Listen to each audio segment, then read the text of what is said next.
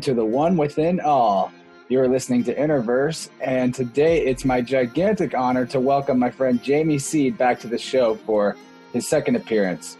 As listeners will know, one of the things I'm most interested in with this podcast is trying to show people that by following your creative passions and trust basically being a decent and good person, the universe is going to set you up to become a legendary version of yourself. And I would say that's what Jamie Seed is a legendary photographer in the Midwest community of festivals. And basically, everybody that knows him knows to expect smiles and good vibes for both themselves and coming from him big time. So I think everyone will very much enjoy our conversation here while Jamie is making his way on the road to, I'm not sure where, but uh, welcome back to the show.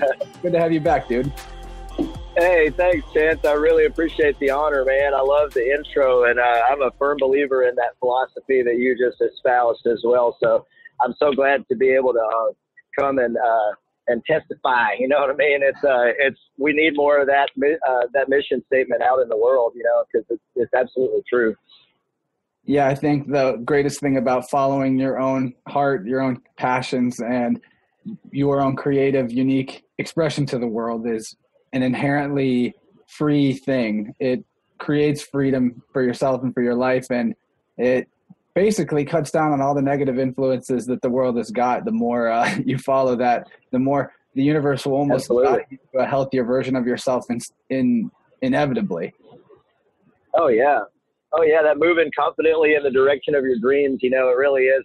You know, there's so many wise men that have repeated the same basic message throughout history about you know, uh, like from from Jesus saying, you know, your faith can move mountains to, you know, uh, who was it? Thoreau said that quote about the, you know, uh, the uh, what's the quote that I just gave, or uh, you know, the universe conspiring with you. Uh, once you once you move in a positive direction, you know. I was actually talking today about. I don't know if you've ever read uh, "A Man's Search for Meaning" by Viktor Frankl. It's a classic 20th century uh, uh, work of uh, philosophy and kind of uh, sociology, but uh, it was uh, Viktor Frankl was in the concentration camps. He was a, a, a Jewish uh, sociologist, I believe, before the war, and he was in uh, he put the concentration camp and he studied. He kind of tested a theory in the concentration camps about having a. He believed that having a purpose, you know, once you have like a higher mission, it enables you to function at a higher level and to survive things. Like in the camp, the concentration camps, he saw the survival rate of, of people that believed in something being higher than people that did not. Uh, and so I think that's part of it too, Chance. You know, as soon as you start getting into something that you love, it's like you, uh, you know, that moving positively, you know, uh, it, it just, it, it helps keep you going in general. You know what I mean? Once you have like a, uh, you know, an art that you're chasing or a mission that you're chasing, it's, uh, it makes day to day life the, the low parts easier to deal with because you, you know, and the, this world is hard and and and hurts us all. You know what I mean? It's so it's so important to have a mission. I feel like you know, and a, a positive purpose. It's completely important. It's what fuels me every day personally. Uh, once, I mean, what even has me doing this podcast is maybe uh, too big of a goal for one person to achieve by themselves, but I don't just want to inspire people to be more creative. I want to end all forms of slavery in general on earth in any Amen. aspect of capacity. Yeah. You know, the concentration mental slavery. Yeah, emancipate ourselves from mental slavery. Well, that and actual physical slavery, because I mean, just absolutely. that's a whole other topic, but you know, the, what people deem uh, freedom and an acceptable level of freedom definitely differs from person to person. But that's one thing I like about you is you're a well-read guy and you study and espouse philosophy, and particularly the philosophy of compassion and unconditional love. And I think it's very interesting that dichotomy that we're going going into with you know your own personal development and evolution and health being connected to following your creative passions. It's almost as if the universe wants you to evolve. I think actually the universe does want you to evolve but because we are in a point physically evolution speaking that we don't actually need to change our outside form that much because we can change from within and become an entirely different being in one lifetime and even our oh, genetic oh, yeah. expression is dictated by you know the state of our consciousness and the quality of our thoughts so it's almost like whenever you're getting completely stagnant and you're not developing and evolving personally that's why you instinctively want to just start going for the addictions that are harmful to yourself because it's like your way of saying yes. I'm not doing what I'm here to do. I might as well start speeding up the checkout process because I'm just waiting in line. Yeah. Self destructiveness increases when you have no mission, right? Exactly. And like when you're stagnating like that, it's like I've, I've come recently to a new understanding of that. I just had like a pretty stagnant period. I've just shaken off here actually. And, uh, and like that depression, the idea of depression being a, a sign, you know, a signpost of stagnation and that like, uh, you know, it's a sign of needing to rest and rejuvenate and, and try something different. You know, shake like uh, I feel like in a cre- as a creative, uh, it's important to to not get stuck in one form of creativity. And sometimes it's easy even after you do find your purpose, you know what I mean, or your mission, because uh, we're very complex humans and we all have the capacity to grow and change. And once you've learned a certain level of something, it's easy to become plateau and stagnate even in that one field. You know what I mean? And so it's it's good. I actually got a great admonition this summer. Actually, a friend of mine did. She, uh, my friend Allison was interviewing somebody at Southern Lights Flow Retreat down at Birds. Uh, it's, the uh, Flow Academy they do down there, you know, and uh, and this guy was talking about pursuing. He was, Allison asked him what uh you know he was he was a balloon artist. He made balloon animals at the festival, but he was like a multi-talented guy. I forget his name. I wish I knew it, but uh he he had this great piece of life advice about uh collect eclectic hobbies and uh, and I thought that was such a valuable piece of advice for, from from for any human. You know what I mean? It's like to to don't stagnate in one art form or, or one lifestyle or whatever. Because like what you were just talking about, it resonates so deep with me about.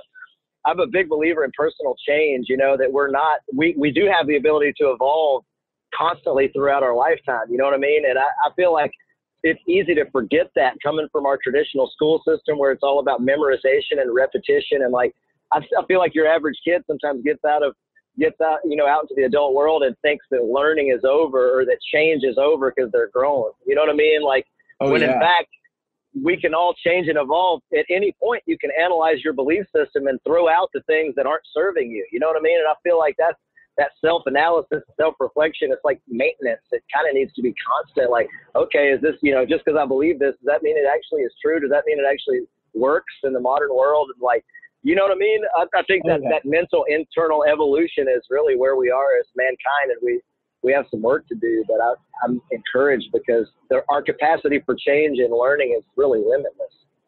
You know, it's also, in my opinion, it's our responsibility to engage in that process because, like I said, not doing it leads to self destruction, and self destruction leads to eh, the destruction of everything. it, the demise of humanity, right? Exactly. It's exactly. yeah, I love that concept. It really is. It's, it's incumbent upon us to help each other, you know, uh, help each other grow and learn and change, you know, and to speak out, speak truth to power and speak out, you know, like your truth to other people and be a, be a light, you know, once you figured some shit out, even if it's just a little bit, be a, share it, be a beacon of, you know, of light to your friends out there, you know, and kind of, we all, we all kind of help, help lift each other up and remind each other of, of the, you know, the positive and the magical things in our lives when, when times get hard or whatever, to remind each other what our mission is, you know.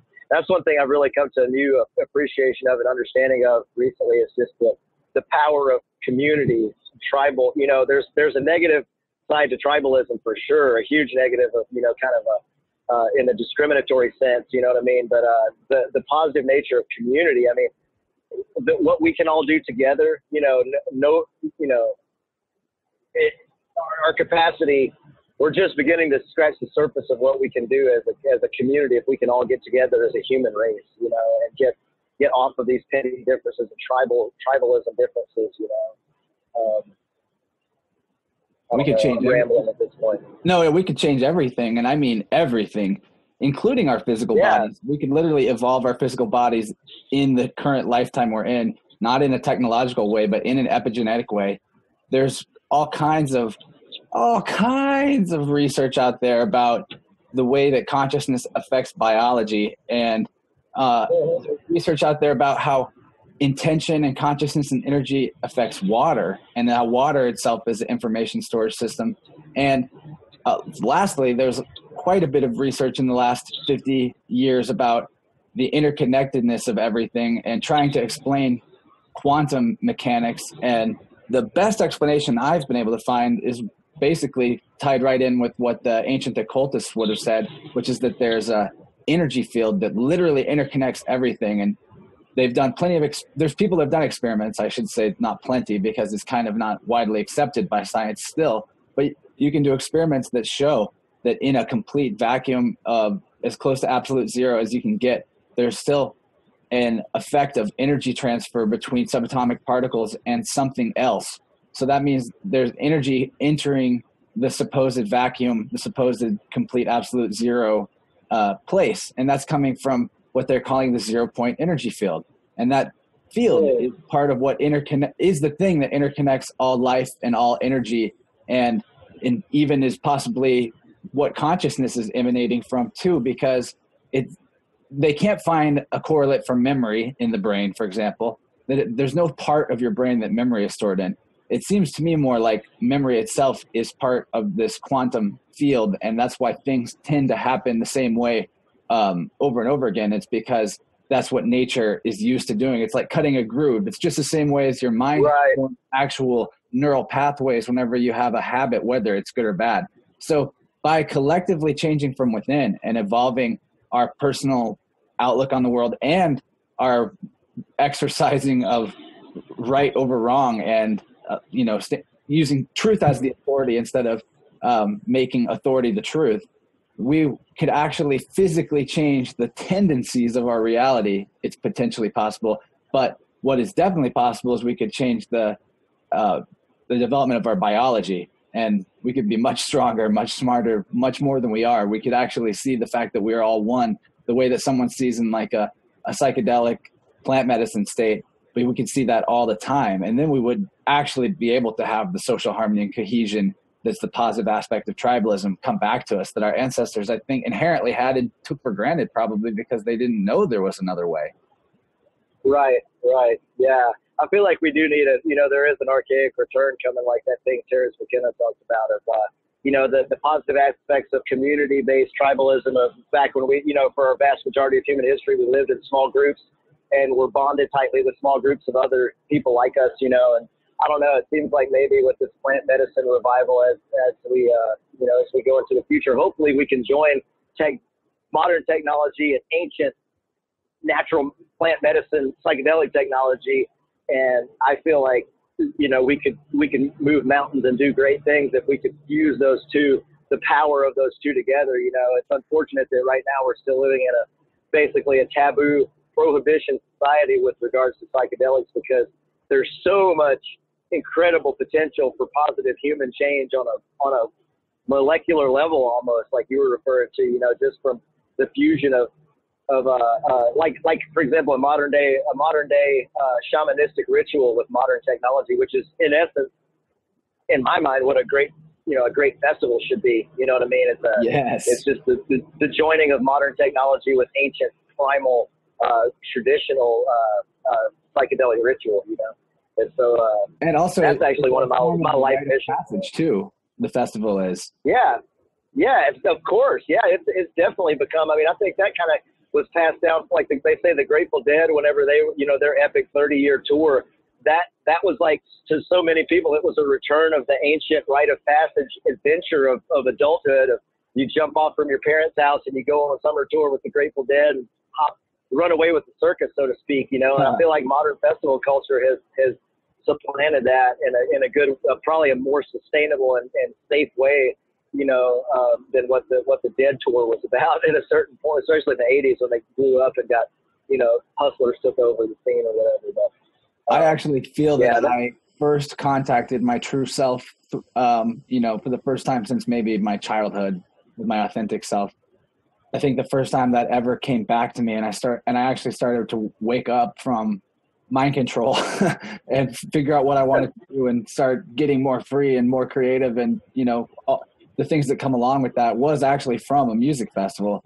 I went to Wakarusa in 2013, and while I was there, I, I had my first LSD experience. Something I've been very um, cautious with because it's so powerful, but it immediately who I wanted to, who I was and what I was here to do. And as soon as I knew, I could never not know that. So even though I drug my feet a little bit in the implementation, and it took me a few years to actually learn the skills that I needed to and find my direction. I knew what I want. I knew what I was here for. You know, it's what we're all here for. It's the mission of just making this place better than when we found it.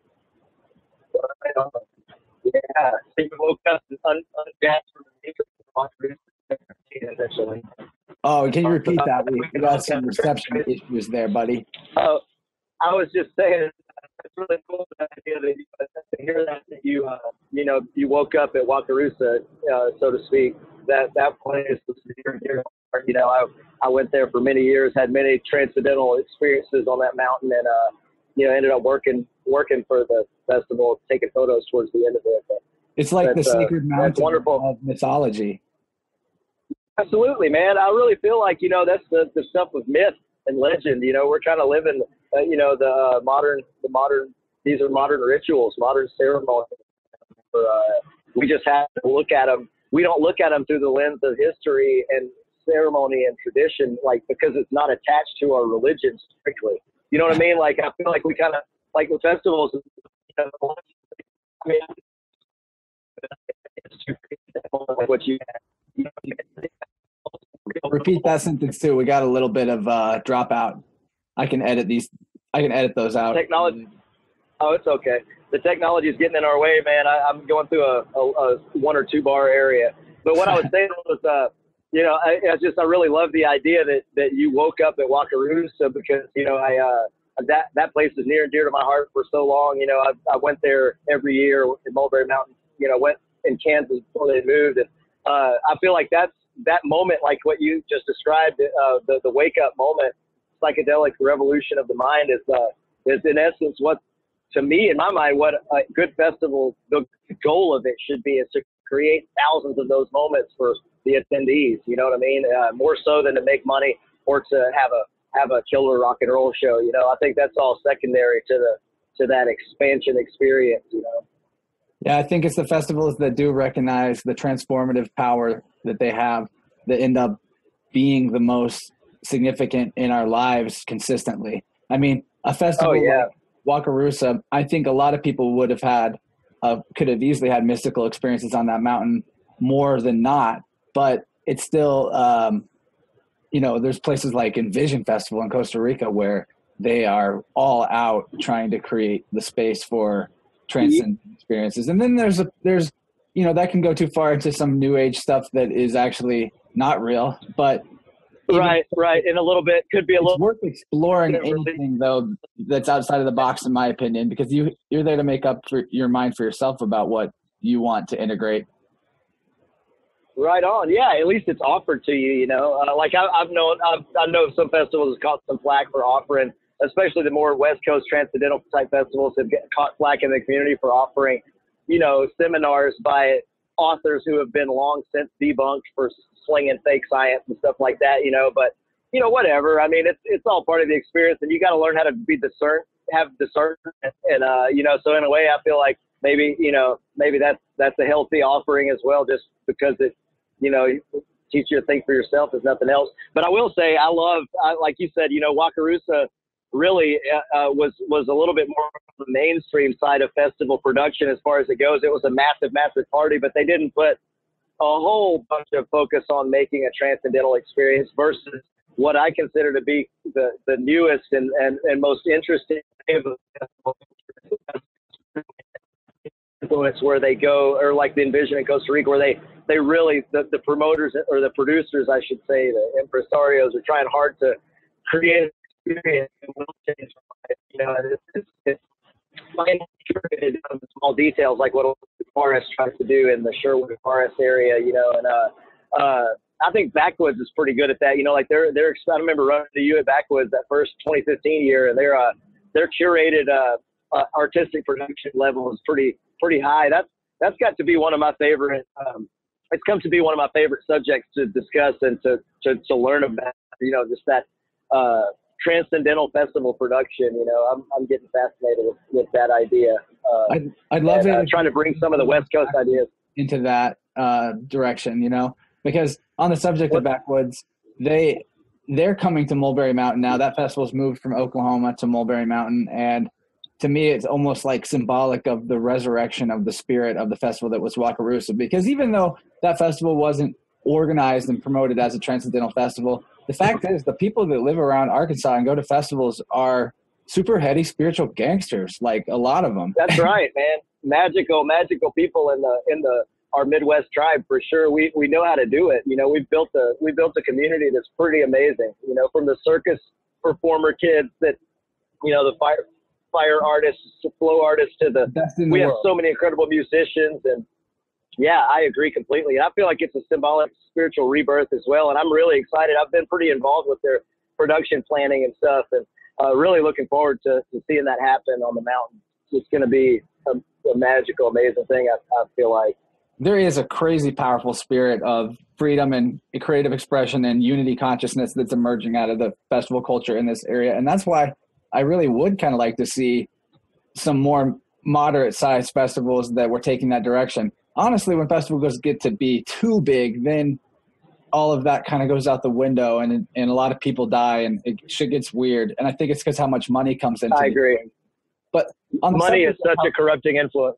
Like the subject of fire performers and flow arts and just the creative amazingness of people around our area i've been to festivals on the west coast. I've been to a festival in costa rica and the, i've seen you know professional fire troupes in those places too. And just the the random guy that walks up into the fire circle at uh, Hillberry in Arkansas, a festival with a couple thousand people, is better. I mean, not that it quali- qualitatively better, more entertaining to me, doing tricks I've never seen, stuff that is innovative compared to like the pros that are out touring the world. Right. Nothing against the people touring the world. I'm just saying, like, we're some damn good performers. Oh, we got some badasses. I agree. I agree. We we have some incredibly monstrous flow artists in our area, and you know, like the uh, Arkansas Circus Arts crew, the got the Got Flow crew, and the you know, there's just so many. You know, Camp Cat Dog and that whole big old flow art uh, troupe from all over the place that congregates in the Midwest festivals. They just badasses. You know, I had the good fortune of going to shoot uh, Southern Lights Flow Academy. I talked about earlier, uh, mentioned earlier that you know, I've never seen so many badasses. Uh, you know, and the flow artists, it gave me a new, a really a deeper, much more more realistic understanding of how difficult that stuff is that they're doing. You know what I mean? I was watching like uh, you know Boy Scout or, or uh, Megan McFadden leading these dragon dragon staff workshops and different things, and you know you're seeing these instructors doing these moves, and then a whole class of people who to me also look like badass flow artists, but they're like struggling with these tricks because it's very complex you know, precise movements that they're doing with all these oh, things. Yeah. I guess I just haven't never really delved too deeply personally into the flow arts. It's uh, from the outside, I, I feel like I've gotten a deeper appreciation here lately, but it's such a beautiful art form, you know, and, uh, and they've developed that community over the years, uh, into something really, really special, you know, it ties into what we were talking about. Like, okay, it ties into. Yeah, two- it seems like they found their bliss, you know. Well, uh, and the fact that, you know, engaging with multiple avenues of creativity, diversifying your activities in that way. Flow arts. Oh yeah, like so many of them are, are, on multiple props. That's a great point, Chance. Chances. I talked about that after we got that excellent quote about pursuing eclectic hobbies. Uh, that was at that festival, and yeah, so many of the be- I noticed that so many of the best instructors and one and ones that were high performing were were very proficient at multiple props. You know, instead of being like I'm a dragon staff artist you know, Dragon Staff. A pretty uh, good painter too, or a pretty good guitar. Yeah. You know, it's like right, right, exactly. All of them. That's very true. Just that flow state. You know, the more you can get into that flow state, and uh, you know, there's improvisational musicians that have told me before. You know, that basically it's more of an art of just letting go and flowing than it is of you know learn, you know, there's there's definitely a te- technical craft to all of that, but at a certain point, you just have to let go and just let it flow, you know. And uh, I see how all those together for sure. And that's sort of okay. And so that's what I would consider letting the field of dynamic conscious intelligence that we're all embedded within that some people call God, but there's way too limiting of a description and it's hard to even describe it. But this field that that you know has patterns energetically and in it it that's where the flow state is coming from. You actually like literally get into a flow with the energy of the universe around you. And so that's why it can be tied into music and you're flowing to music because the vibration of the music is now in information in the energy field that's around you that you can tap into and synchronize with. And also the right fact on. that so many people are getting so good at stuff like hula hooping and fire staff and the and there's more and more of these flow toys coming up and every year it seems like there's more people that are better at it and there's new things happening. It's i think it's because the more people that are doing something and they're good at something the easier it is for somebody else to get up to their level and start innovating. And that's like that's a fact. I've seen it over the years with just hula hooping as one example how the average hooper has has evolved into something really amazing at festivals compared to just five years ago Oh, I totally agree. I think about that a lot when I see these flow artists and remembering 10 years ago, 15 years ago in the festival world when flow arts didn't really exist. You know what I mean? Like there was a point not that long ago where like String Cheese Incident concerts and girls with hula hoops was like a, an anomaly instead of the norm. You know, it was like, you know what I mean? Like they were the crowd that had the hoopers and, uh, and it's just exploded in its most beautiful way. And I love too how in a sense, there, you know, a lot of those uh, flow art, uh, flow props are, are formerly weapons of destruction, you know, that have been, you know, like as it's kind of a beautiful thing to me to see that like these, these weapons of violence and destruction have been like brought into this more gentle modern age as, as toys of flow and, and, and beauty, you know, uh, but still, I mean, I feel like if somebody gets really good at the rope dart, they could still fuck somebody up pretty good. You know what I mean? Like if things did get to the point where we needed some some hand to hand combat, you know. uh, so it's kind of funny. It's like psychedelic warrior training in a way, you know. But uh, That's so benign and, and it was beautiful. The self defense principle. What? The self defense principle has been on my mind a lot as equally important to the non aggression principle. And oh yeah, you yeah, know, totally. And it's actually you know on the subject of how flow arts how flow toys came to be from weapons in a lot of instances. I actually learned that nunchucks were a farming tool, and the reason why they were used by commoners it was in like militia style rebellion against the state because the state took away all the other weapons. So they got oh wow nunchucks, which they were originally using just to like beat and thresh stuff or something like that. Um, but you know, it is interesting on the subject of our responsibility to evolve, that also includes responsibility for our own protection of our own rights. You know, like uh, our own. Absolutely. Our. I, I, I no we, I'm sorry, I don't mean to step on it. No, yeah, you're good. Uh, man, yeah, that's so crazy you mentioned that, Chance, because I just this season started really tripping on the idea of uh, of bringing out some uh, some like jujitsu training or basic like self defense martial arts type workshops to a festival because I feel like that that aspect is so lacking in the offerings that we've that we've made, you know, so far as a festival tribe and culture. Because like, you know, we all are nonviolent, you know, uh, psychedelically open-minded, peace-loving people, but you know, there is a very basic value in in knowing how to protect yourself and your, you know, your people, your family, your children, you know, your tribe, and uh, I don't know. I think that that's uh, that's totally within the within our rights and responsibilities sector of being human. You know, uh, is oh, just yeah. you know being being able to incapacitate a predator or a bad person. You know, because there are crazy bad people. Obviously, uh, I think we're all you know shooting blanks unless we do have it. I feel like I'm I'm pretty short in those uh, capabilities for sure. Uh, Me too, man. I, I don't even have a gun, and I feel very strongly that I should. Not that I ever expect to need to use it, and it's the last thing I would ever want to use. But I think that it's very well stated. Although I'm not a statist or a believer in the government in any sense, the founders, when writing the Bill of Rights in the Second Amendment, made it very clear that it is it is necessary to protect the state of freedom to have a well maintained militia. And the definition of militia is not an a group of people that get together that are hicks and like to shoot guns. And uh, right, right, border army surplus. militia, yeah. the entire people. Militia actually is defined as the entirety of the people who are capable of bearing arms, and that means basically all men and women. Yeah, right on. It's necessary to right defend on. the state of freedom because, uh, you know, that's one thing they're not able to get done in this country is all the gun control legislation that they're so clearly trying to push with the hyper sensation. Oh, that's it's crazy. It's so impossible.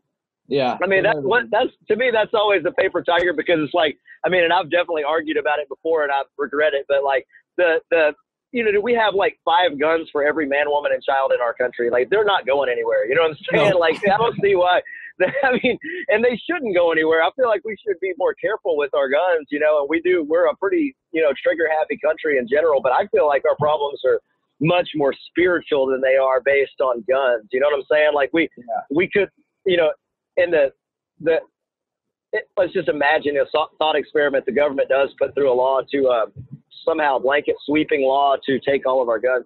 The manpower and money and violence that it would take to do that versus what it would take to like maybe invest in our spirit a little bit. You know what I mean? And try to like get people on the same page spiritually and and not following one, religion, but like actually take care of our society, take care of ourselves. You know what I mean? Like so much. Oh, it just turns out that so much of our violence and misery is coming from the absolute poorest corners of our ghettos in the cities. Like, what a surprise! You know what I'm saying? Like, we've got to invest in changing that, or it's not. You know what I'm saying? Like, at oh, the yeah. end of the day, so much of the gun violence is coming from these the you know the the the most miserable poor corners of the darkest inner cities, and and like seems like rooting out the the the self-loathing and the uh, and the uh, multiple la- levels of multiple generations of extreme poverty and taking care of those ghettos and you know that would be a lot more feasible to me.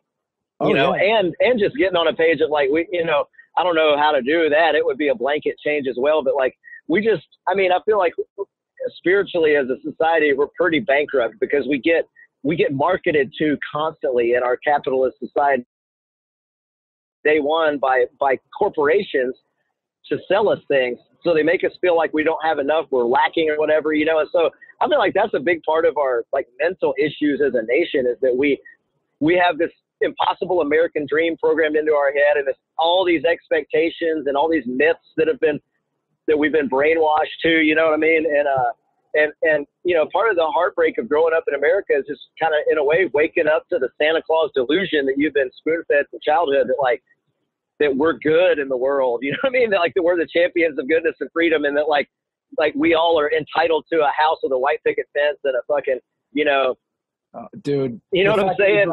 Uh, Santa as a perfect metaphor and timing for right now. What is so ridiculous about the whole Santa Claus thing to me is that if you just do a little bit of research into the symbolism of Santa Claus and the history of it, it's actually all Saturnian symbolism which is all satanic symbolism. And the entire point of promoting Christmas isn't what people assume as, oh, of course they, you know, the corporations do want to promote commerce and, uh, cap, you know, they're capitalists, so they do market Christmas really heavily to get everyone to spend a lot of money. But, you know, that makes sense in a capitalist society. Actually, no. Sure. it's a lot more insidious than that the entire point of Santa Claus is to brainwash you into believing that the state is going to take care of you. And the reason for this yeah. is because as a child, you are told that there's a magical man who is going to bring you everything that you want if you're good. And then on the lie that your parents willingly do this lie on you and tell you about this magical man who you then find right out- and trick you. They like violate their basic trust in the child by like just blatantly lying to them and tricking them into behaving a certain way for this for this lie that they're pushing. You know, okay. and a lot of kids do not find out that Santa's not real until seven, eight, nine. The first seven years yeah. of your life, you are a sponge that receives everything that you experience as programming. So what you're being programmed with is that your parents are not the source of your well-being and happiness, but an outside entity is named Santa, which is actually an anagram for Satan and your unconscious mind actually does know that and does make that connection. Not that Satan is a real, entity, but that's just the symbolism here. And so then, not only do you have the programmed uh, dependency on the external fictional entity, which then just transfers over to the state when you're older, especially if you have any kind of abandonment issues from your mother or father, which everybody does in some capacity, whether it's spiritually, sure. emotionally, whatever. It automatically sets you up to believe either you need a strong father figure in your life, and so you want a, re- a Republican view of the government to take care of everything uh, by force and stay out of your business otherwise, or you were missing a motherly energy, so you want uh, the state to be your nurturer and take care of every little thing and be a nanny. But either way, you're being programmed from childhood to believe in this system just from the whole Santa Claus myth, and nobody even sees it. It's, it's unfortunate. dude, I really, I mean, I mean, it really is. I'll tell you what, Chance, I've had, I've had some one experience that relates to kind of the, the, the disillusionment of what you're saying right there. Uh, I worked at Disney World years ago, and I've been a Disney fan since I was a little kid, like so many of us are. You know, you get programmed with Disney shit from day, you know, day one of your life. And uh, so I, you know, and I had a wonderful experience working down there. And I'm not like a Disney conspiracy theorist or whatever, but uh, I just had, I went to the Magic. The last time I went down to Orlando and hung out with some of my buddies that still live around there and work there and stuff. Uh, one of my buddies gives tours, and uh, so he hooked me up with a ticket. And I, while he was going to giving a tour, and I went to Magic Kingdom, which is like the original park there, you know.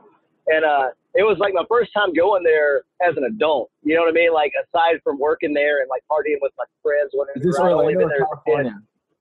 In, in Orlando, okay. and uh, and I just man, I had, I had, my experience with it when I went in there as an, a deprogrammed adult, right? So like it, I'm coming at it from the other end of the spectrum of like, you know, I haven't been immersed in all this, you know, all their their marketing and product stuff for a long time, you know, as, a, as an adult without kids, you know what I mean? I'm not like, not like knee deep in Disney shit like I was when I was a little kid, right? So like going in there deprogrammed, it was really bizarre because I saw it without the illusion a little bit more and it kind of disturbed me. You know what I mean? I saw all these people spending all this money and all these gift shops and these kids that are like worshiping Mickey basically, you know, and like the parents are like throwing their money away for these kids to like worship these false idols and these characters and shit. Like everybody's wearing the regalia, you know what I mean? Like it's it just all of a sudden struck me as very fucking weird, you know, and uh, and uh, really kind of uh, uh, ritualistic in a in a in a real greedy greedy way, you know. And so anyway, that that experience of kind of the disillusionment of being in Magic Kingdom is kind of like almost how I've been experiencing Christmas lately, man. Like I still get into it for like the the family and friends. You know, it's so wonderful to like connect with family and friends during the time, but like the the insane amount of commercialism is uh it's just uh it's disillusioning. You know what I mean? Like it's got to the point where Christmas yeah. propaganda kind of creeps me out. You know, like it's uh, uh, you know, I mean, in a way, it's it's it's easy to think about all the all the oppression that happens around the world for the to get the to get the toys that we're pushing and the the you know what I mean? Like Those it's Black uh, Friday places beca- come from people being enslaved in uh, basically worse conditions than what we have. But you know, people here are just as enslaved they have how much how much time do those parents have to spend in an office uh, working for half of their paycheck to go to taxes anyway? They don't even know what that's right. for. For them to be able to afford the trip to disney world and buy all the plastic shit for the kid for the kid to worship. Right. It is actually right. it's lit, what you're describing and i love the way that you described it and just the very real way of seeing what was actually happening from an unconditioned state. That actually is a satanic cult that you're witnessing, and the majority of people are involved in it. And the reason I call it satanic is because basically the average person in this in this country in this civilization probably in this world has become infected with the idea that morality is relative and that you can basically decide for yourself what's right and wrong for you in your life and while there's plenty of freedom of choice for a lot of things in your life that you that you would be right with multiple choices. The fact is, there are some things that are definitely flat out wrong, like the enslavement of other beings in general. So the fact that right. like this whole system is driven by um, mass amounts of suffering, both human and animal, and that everyone believes in it ritualistically, and it is formed by a hierarchical control structure. All of these things are, and that's the government, which is also believed in like a religion, and people don't see it as a religion. But this whole thing is just the same exact type of religion that existed in like you know pagan Rome, where there was a there was a where the government was a belief system then too, but people just don't actually they think they have the illusion of the things becoming separated because as institutions they seem to be separate religion and uh, and government. But government itself and money and the commerce system itself is the biggest religion on the planet aside from the idea that there's such a thing as authority in man which also is a false uh, religion. In reality, everyone only has authority over themselves, and that means that they have the responsibility to choose right from wrong when dealing with other people. And it's that simple. It's just that simple. The conscience that is required to not be satanic. But a lot of people actually argue to your face that that's not true, that they actually have the right to decide for themselves what is true and what is not, which is basically like saying I'm God. Right, right. Subjective truth. I don't want to be like too negative, but not a lot of people go there with me in a conversation, so I, I appreciate it. no, I'm with you, man, for sure. For sure, that's an interesting concept, man. Yeah, and it's not like it's worshiping an entity called Satan. I just don't know a better word for it because in the Satanic Bible, that's like the key tenet is that you get to decide for yourself what the truth is. Uh, do what that wilt is the whole of the law or whatever, right? Yeah, and you know, there's another Anton LaVey, I think. Another way of interpreting that would be to do what the higher will commands, which is that inner voice of conscience, and that is the law that's the way I interpret it to be the, the positive interpretation. The conscience is the law as opposed to some rule written on a piece of paper somewhere. Right on. Yeah, yeah. That is that is the conscience, uh, which knowledge knowledge of uh knowledge of what you're doing. You know, the conscience well, con- is an interesting entity. It means knowing together because con the root word con is together, and the word the second part of the word comes from scire, which is to know. So it's a field that has living memory that we're all interconnected by. We we all kind of know what's what's right, what's supposed to happen, and it's like a matter of breaking that internal draw, the intuitive draw that we all have. Yeah, and I mean I'm not perfect for sure. That's one thing I always have to make clear whenever I get all black and white about morality and truth, but because it is black and white, that doesn't mean that I'm perfect. But uh, I don't know. I, oh, right. Yeah. As a human, it's a constant process of keep trying to keep in the mean, you know, back and forth across the middle. Like sometimes you kill it, sometimes you fuck up, you know, it's like we all kind of know what's right and wrong though. I feel like you do, unless you've killed your ability to feel and care. Yeah. That makes you yeah. a psychopath, unfortunately. Yeah, exactly. And the world can do that. So, you know, I mean, it's, it's hard out there for a pimp, you know, like I can see how people, you know, I mean, it'll, the world will make you hard sometimes, you know, but you know, go back Especially to those inner cities, like I was talking about earlier. To be more, to get back to kind of a more positive direction, the solution to all this is to start listening to your own inner voice, which you can strengthen by following your creative passion while also freeing yourself from the the societal forms of slavery that most of us are caught up in I haven't done it yet. Right I still have to go to a job and pay taxes and uh, pay a mortgage, but I'm I'm gonna get there. I hear that, man. I, I actually just kind of fell into a situation where I get to impact people's minds, like on a on a job level for the first time, and uh, it's a it's a that teaching is a subversive activity. It's kind of you know I'm understanding that on a new level, but uh, uh, I feel like you know that's that is the remedy though. You know, is the you know education, opening minds. You know. Uh, uh, that whole idea of uh, I think it was the Dalai Lama said, you know, we could we could remove war in a generation if we taught the kids to meditate. Uh, I think that's the answer to a lot of our basic society issues. Is like getting the kids, you know, just think about how beautiful concept it is. Think of an idea of teaching a young inner city child how to meditate and quiet the mind in the midst of that chaos around them. You know, it's like what a valuable asset that would have to be to be able to teach them the, to, to find their center and uh, and be able to be at peace from a young age before the, the pressure of that world destroys their mind. You know what I mean? Like, or, or uh, uh, pressure lead them down dark paths. You know, I think that really could have a huge impact. Uh, Practically invested some money. Yeah. You know, and it's not something anybody is going to be perfect with like listening now. If you haven't developed that superpower or you, you know, you've, you've neglected that practice, hey, I'm right there with you. I've been struggling to get it done every day myself. But even if all you can do is three minutes, sit down three or five minutes. I wouldn't even recommend going oh, more dude. than minutes a day. I feel like if you can, I mean, it's it's almost like catching one of those micro naps. You know what I mean? Like you ever uh-huh. catch that perfect tiny nap that like it just totally rejuvenates you. I feel like that's meditation to me is like the, uh, the the most huge impact is when you can just basically even get one second of that quiet mind. You know what I'm saying? Just going from never having experienced it to like that single moment of you know just touching base with the infinite there of like at the end of the day all is well no matter what. You know what I'm saying? Is get to that quiet place once I don't know because then it's accessible on some level, you know, or at least you know it's there. It takes the pressure of time. But yeah.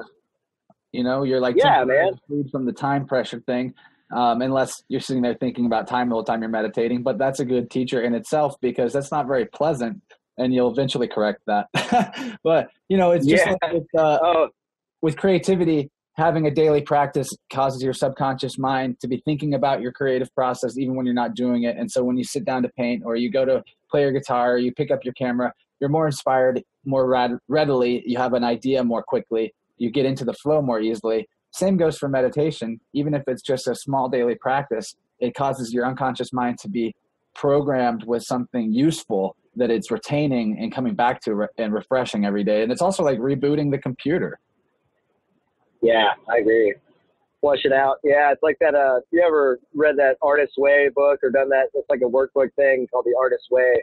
And uh, this lady that that created it, it's like uh, kind of guides you through a, rejuvenating the creative process, basically. But it has this great uh, practice that's that's prescribed f- throughout, like while you're working that program. And uh, it's called the daily pages, where you just basically sit down in the morning every day and write like just freestyle whatever's coming out of your brain without any hesitation for like five minutes, you know, and uh, it's just like a like like you said, a computer reset. Just kind of like dumps all this gibberish that's in your brain, and then it's, it's, it has an effect like meditation in a way. It's just like it's like a reboot. You you dump all this recycle bin and then hit the restart, you know, and uh, but also a lot of cool ideas come out of it because it sort of trains your brain to go into the flow state like immediately Mhm. because it's like stream of consciousness writing is what she recommends doing. It's just like like hit let the pencil hit the pad and don't don't pick it up, just write. You know. And that actually will It's an amazing practice. Other, other practices like th- just Oh yeah, it's like you said, it just turns on the flow state in the brain. You know, um, it it one of gets you those- in that. one of those multiple techniques that you want to have cultivated eclectically. You know.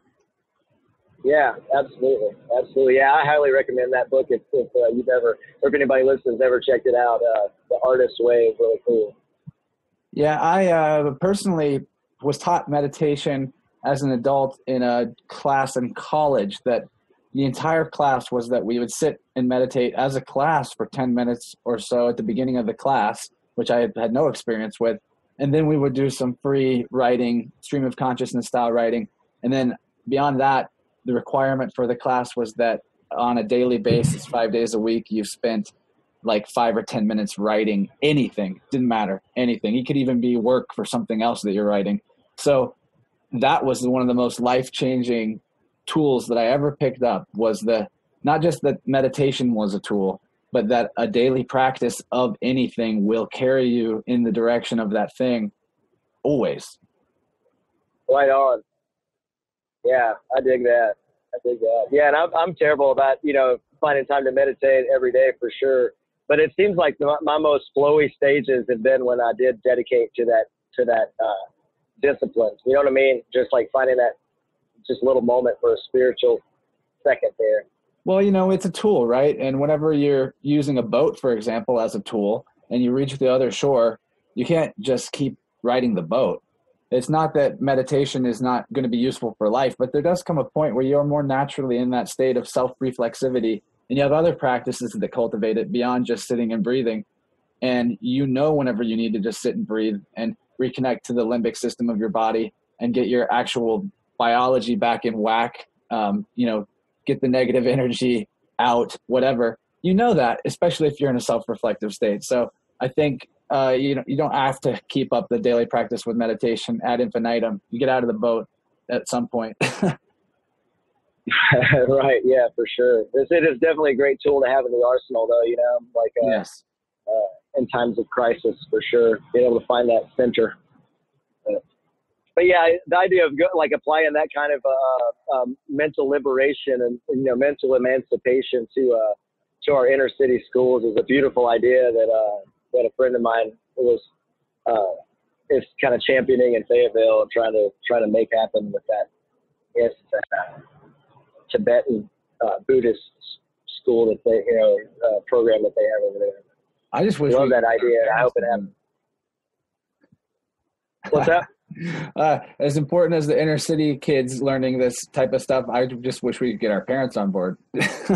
Oh, right on. Yeah, totally. We should probably start with Congress. Yeah, uh, that, that's a but yeah, man, for sure. I think we all, you know, could use some. Uh, that's one of the things. I, you know, I don't want to get too political on here or anything, but like, I feel like that's one of the sad uh, things about our current state of the political landscape is that uh, our our mainstream religion, you know, Christianity has basically been, and it like, you know, I'm not saying Christianity doesn't doesn't have flaws for sure, you know, but it's like it's sad that our culture's main main religious identity has been totally hijacked by one of the political parties and made it to where it's uncomfortable and people don't want to identify with it for a lot of reasons where it's like you know i feel like a lot of people have been stripped of their you know like some form of ceremony or you know like if they don't have any kind of archaic ceremonial you know psychedelic type stuff like spiritual spiritual practices uh, you know helps humanity you know like having something there I don't know. I feel like that's just like we're kind of in a in a spiritual thirst in America because like one, our our biggest religion has kind of been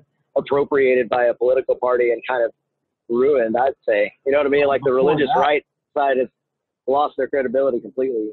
You know, and what even led to Christianity going down that path was the fact that it was influenced to be instead of a religion of personal evolution and personal responsibility and essentially spiritual compassionate anarchy which that's what the original teachings of the Gnostic Christians was about, to becoming a right. Messiah. It's a savior complex, messiahistic religion now. It even like I remember when I was a kid in church, I was told all the time, works alone will not get you to heaven. Well, yeah, I know. Heaven is potentially earth, or hell is potentially earth. It's it depends on oh, what yeah. we here. So if we want to get to heaven Absolutely. on earth, we actually do have to do some work that's what I've come to realize. And that means doing the right thing. Absolutely, man. And it's such a crazy concept to me that you just don't have, you can just make a mental imaginary agreement with something and you don't have to do anything to like it's garbage. earn being good. it's just the craziest, it's the laziest concept ever, really. You know what I mean? It's just like, oh, I want the benefit, but I don't want to have to actually do the stuff you got to do to get it. Like, you know, I mean, I hate to keep using this word. It's always been silly. Sorry. Um, and then that just leads people to want to look at the uh, the Messiah as the the government leader that ties into this. But you're you're a philosophy guy. Are you familiar with the, the phrase Hegelian dialectic? Um, I define it for me. Okay, because that's what this is with the the Democrats and the Republicans, and it, a Hegelian dialectic is when you have seemingly only two choices but both choices are actually being manipulated by somebody else to achieve the same result. And oh yeah, going on with basically everything in politics and every divisive aspect of our culture. It's just a bunch of Hegelian dialectics designed to get people to take sides. When in reality, there's infinite choices beyond just a, a Republican government or a Democrat government. You know, there's actually- right red, red or blue. Right? Yeah, there's so many shades out there that we're not being offered because it doesn't. It's harder to control. You know, I mean, yeah, it's a it's a big puppet show. Opposition, you know? actually, it, it it's opposition that can it's it cancels out all possible social change because you have two sides that equally um, energetically block each other from uh, the issue advancing. That's what I see it as. Yeah. No, I agree. That's a great uh, description of it, actually. Um, yeah, I love I love that phrase. I, I, was not familiar with that really, but that's uh that's really interesting idea. Uh, but that's yeah, man. And I think we finally hit the the uh, the the if if all of this has been orchestrated programming, I think the show just jumped the shark this season with uh with Trump. You know, it's uh, it's like it's got to be a reset button somewhere around here because it's uh you know we're clearly things are out of hand. You know, I'm interested uh, to see you know, what this what the swing back will be on the next uh, you know this next few years, man. It's we're kind of headed down a weird road uh, right now, but it's going to be. I have great hope. You know, I feel like the technological advances in our general like younger generations um, kind of awareness. I think all of us growing up on the internet stuff, we're a whole new generation's coming. This I don't think all this old shit is going to. You know, I don't know. I'm just I'm hopeful that all this international political intrigue. is like we're kind of hopefully heading to a state where we can be on more of a enlightened level with one another. You know, I mean, well, for God's sake, we've got the ability to auto translate between every language now. You know what I'm saying? We've got we can speak wirelessly with each other across continents and shit. Like, communications are there. We just got to like use them now and, you know, unite exactly. people together. It, I, I always feel like 99% of the actual people out in the world, like, uh, or we're all basically out for the good of it. You know what I mean? Like the, yeah. like that fake, that, that fake, uh, uh, duality, the, the dialectic you were just talking about. It's like eh, that, you know, that, those are like artificial things that are presented to us to, to create division. But like, when you get past all that shit and past national barriers and stuff, I mean, we really, humankind is, is basically good. I feel like, you know what I mean? Like there, we, we're all intrinsically more on the, you know, we want good for, for ourselves and each other in general you know, and uh, that's a beautiful thing. We're we're very social, community based organisms, uh, and uh, so there's there's great hope for the future in that, you know. Yeah, that's one of the things that they serve you as a as a dialectic that because human nature is so bad, and they really pump this in through religion, that we actually have to have a, something called the state that has a monopoly on violence. Otherwise, there would be chaos. When actuality, right the state is the agent of chaos in the world. but, but uh, yeah, yeah, it's it, it creates the it creates the, the monster and then kills it for you. Uh, you know, how, how or supposedly does. The problem of theft, rape, murder, and uh, and fraud by giving another group of people the supposed right to steal, murder, and kidnap and lie to people. How does that? Yeah, sound? exactly. How, how, oh. I've always thought like how you know we're sending we're sending soldiers into our into foreign you know sovereign nations to snipe people out and shit. Like, what if people were doing that to us? You know what I mean? Like we're, we're we kind of like deal out a lot of cards as a nation that we don't we don't want dealt to us. You know what I mean? On a on a basic level, violating some golden rule stuff. You know. Uh, yeah, man, the golden rule is all that you need to know. And what I think makes it even simpler is if you do the apophatic golden rule. And apotheosis sure. philosophy is the is the realization of truth through negation. It's when something you can't describe what it is, but you can describe what it's not, and therefore narrow down your idea of the thing. And in terms of the golden rule, the apoph- apophatic golden rule would be don't do to others what you wouldn't want done to yourself. It's a lot simpler than right. do you want to do unto yourself. It's even better. Right, right, right. Yeah, I agree. I agree. I like that a lot. And that's the half that gets forgotten. the what you don't want to do. Yeah. Um, that's that's great, man. I think I'm gonna update that in my records for how I can how I think of that. You know. Yeah, man. Uh, it can come to a lot through apotheosis. Uh, that's actually a great way of understanding what your rights are as well, because we have so many actions that would be our natural right that it's too much to name it all, and that's why there wasn't originally supposed to be a Bill of Rights in the Constitution. But the uh, again, not that I'm a constitutionalist, but I, the founding fathers did have some interesting writing despite their flaws, and the the apothea, apotheosis of truth would just be like, or of of rights would be, you don't have the right to steal, you don't have the right to kill somebody. You basically don't have the right to take something that's not yours or to accost somebody. And that's actually where, you know, if we could really all connect to that, then we could get rid of the government dialectic because anarchy doesn't mean chaos, it which is what everyone's programmed to think it means. It means no rulers. And if there's no rulers, then there's no slaves. And if everyone is internally taking care of their own self, um, responsible for their own self, their own thoughts, behaviors, and actions, uh, completely, and that that makes them a sovereign individual.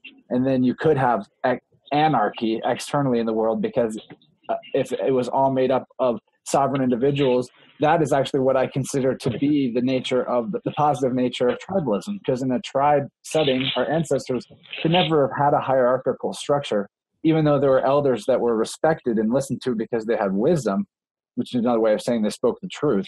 You were not able to control groups of people to do what you wanted, make them do what you wanted them to do, because what would you use to hold over them? They can gather their own food, they can build their own hut, they can create their own clothes, they can go off and leave you. So there's no controlling that. So that's why personal responsibility and self mastery are actually essential components to the true state of freedom.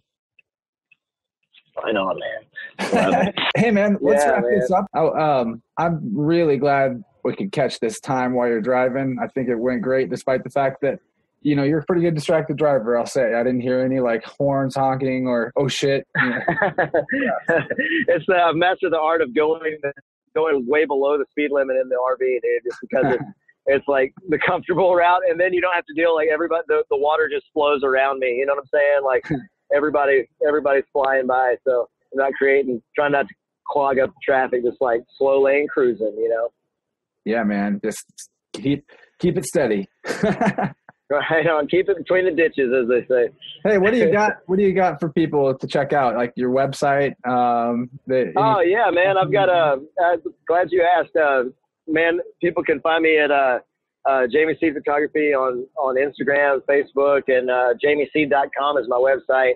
Uh, also have an Etsy store with uh, prints and stuff, posters, uh, and uh, that's uh, under the shop name Jamie Seed. I can't remember the URL for that, but they all interlink and stuff, of course, you know. Yeah, I like uh, all of it. Yeah, I encourage everybody to reach out to me, you know, like, uh, uh, let's, let's keep up with each other, you know, support each other. As much creators out here, you know, do everybody out here doing our thing, you know. Yeah, man. The more of us that get involved with a different way of uh, creating community, the more support each member of the community has because there's one more person there saying fuck yeah dude you got this yeah yeah it was one more light shining you know like it's uh it, it's like a big old uh, you know i don't know man it's a big beautiful community of people doing you know doing things they love out there uh let's just keep shining them lights man i love the mission of your podcast um, it's an honor to be on here again man and uh, always much appreciated great conversation and uh you know keep doing what you do brother Hey, right back at you. You inspire people left and right, and most importantly, you make people feel good about themselves when they're around you.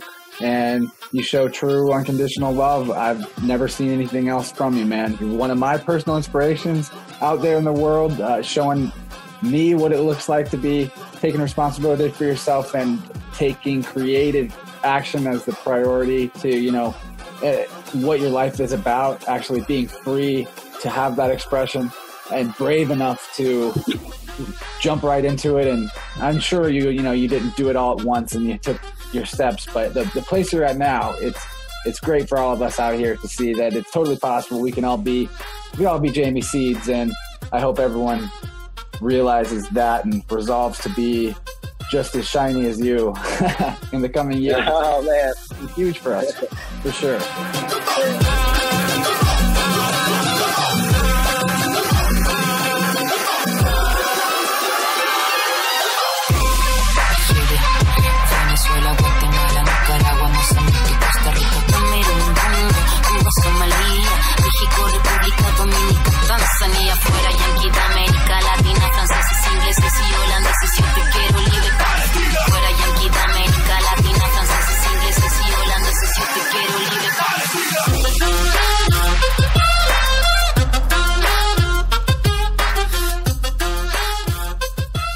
Thanks again to the very definition of a super homie, Jamie Seed, for coming on the show today, even while you had to do a big drive.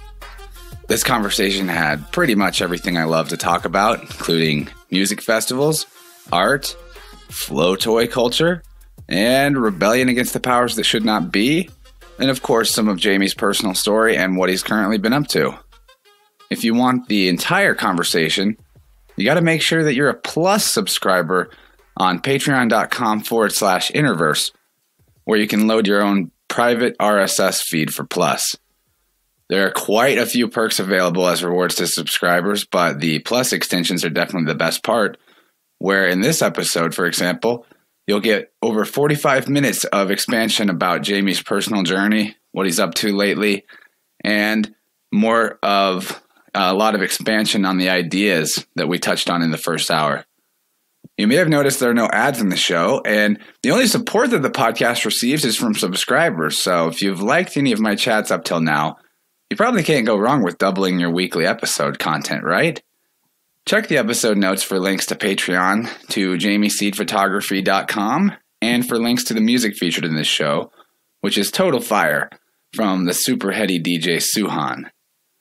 So, friends, it's the end of the year, and also the end of season three of InnerVerse and probably a good time to do what other people do and reflect on what all that means to me and talk it over with y'all. I'll start by saying that this is a world with a trillion shiny things out there demanding your attention. So I think it's supernaturally special that you've chosen to spend some time with me here. whether you're a new listener or someone that's been supporting the show from the beginning, think about this.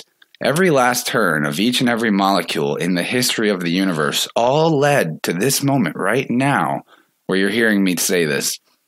It's trippy to look at the world in this way, but I do like to think about that because, you know, I'm, a, I'm at a kind of hard point in the podcasting journey to where sometime in the future I'm going to look at where I'm at and see that where I'm at now led me there. and you know, where I'm at right now is the kind of place where for a lot of people it would be really easy to just give up and come up with a good reason like, well, it's just not taking off like I hoped it would, or who am I to think I can create something that's actually helpful to others when I don't even have my own shit together the way I want it? Instead, I'm finding though that these thoughts don't really enter my mental dojo because when they do, they're immediately karate chopped with my awareness and intention to keep doing what I love doing. It's actually extremely fun for me to have conversations like this. And I'm so happy when I'm putting together these episodes that I don't really care if our community here ever grows that much at all, although it probably will. And my life is incredibly wonderful, magical, whimsical, and good in just about every way that it could be for my current stage of development as a soul, especially when looked at in relation to a lot of other people out there, which is never really good to do, but in my case, when I look at other people, I think I do have the superior life. I'm lucky like that. So I want to thank you again for both giving this podcast your attention and for all the things that you've done this year to try and be a better version of yourself because you put that energy into the field and it makes it easier for all of us to do the same.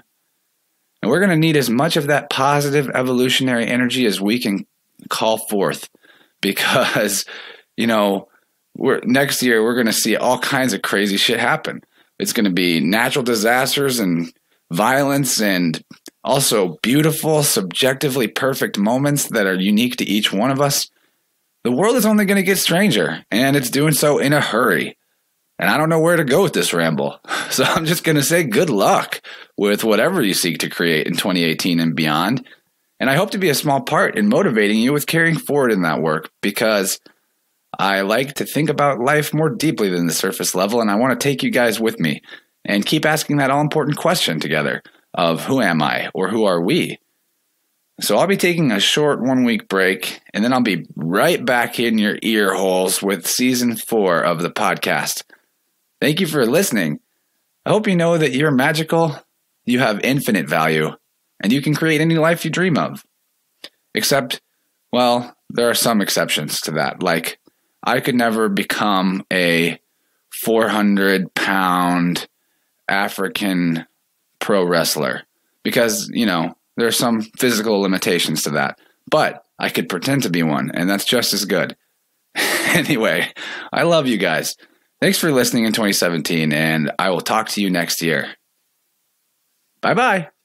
请欣赏下曲镇文艺队带来的舞蹈《扎西夏卓》。 请比如镇文艺队做好准备，好准备，好准备，好准备，好准备，好准备，好准备，好准备。请欣赏下曲镇文艺队带来的舞蹈《扎西夏卓》。请比如镇文艺队做好准备，好准备，好准备，好准备，好准备，好准备，好准备，好准备。请欣赏下曲镇文艺队带来的舞蹈《扎西夏卓》。请比如镇文艺队做好准备，好准备，好准备，好准备，好准备，